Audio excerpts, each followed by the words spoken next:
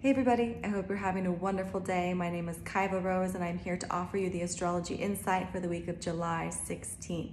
So this week's report is all about encouraging us to tune in to our feelings and really honor what is no longer supporting our own experience of our divine self?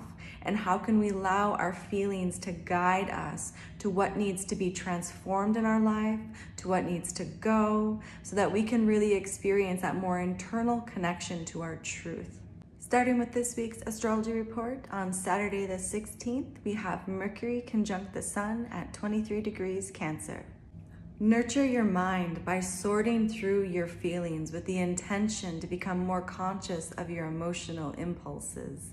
Write them down if you need to, and gain a new way of processing your feelings and being able to communicate them. And burn away the insecurities and the self judgment by doing the emotional work so that you can be more aligned with your divine self. On Sunday the 17th, we have Mercury trine Neptune and the Sun trine Neptune. Consider the feelings that you've brought consciousness to. What would you manifest in your life to help you process those feelings, to help you heal and live a more connected life? Focus on nurturing yourself so that you can align your vision for the future with that which will encourage you to feel more safe and secure inside of yourself and experience your own divinity. On Monday, the 18th, we have Mercury opposing Pluto. Part of committing to your well being is releasing the outlived and transforming the structures in your life. Consider all the work that you put in to become more aligned internally. How do you feel now? Really check in with your feelings and ask yourself are the structures in your life supporting you? Or what do you really need to let go of and transform so that you can feel more stable and secure inside of yourself? On Tuesday, the 19th, we have the Sun opposing Pluto.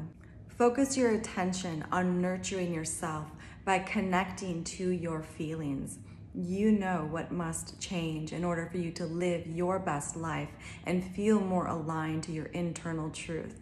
And it's time to start preparing to live that way in a bigger way by really releasing anything that is not supporting you to live your divine purpose for society. On Wednesday, the 20th, we have the third quarter moon in Aries at 27 degrees.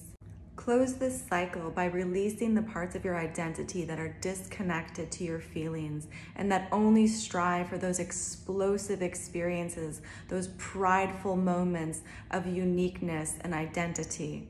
Really focus on who you are and who you are becoming and what parts of your identity you are trying to nurture. Really align yourself with your internal truth and see that there is so much more to who you are and just feel that connection to your own divinity, knowing that you are enough and you don't need to have any sort of outward validation or prove yourself. Allow your own internal awareness to be enough proof that you are enough. That's all for this week's astrology report. If you would like a personal reading, you can contact me at 11kaivarose33.com. If you'd like to support my work, you can go to patreon.com slash kaivarose. If you'd like to find me, you can find me on Instagram, Facebook, YouTube, and also TikTok. And other than that, I will see you all next week and have a blessed week until then.